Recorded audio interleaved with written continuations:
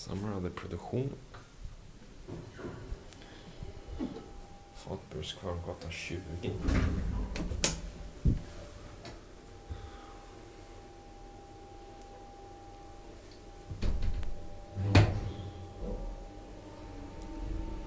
Hiss och fastighetsservice sköter Anna hiss nu.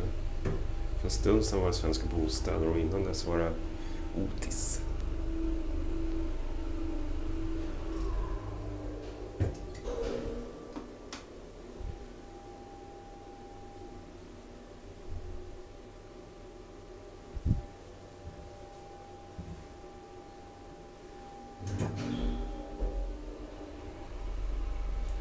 是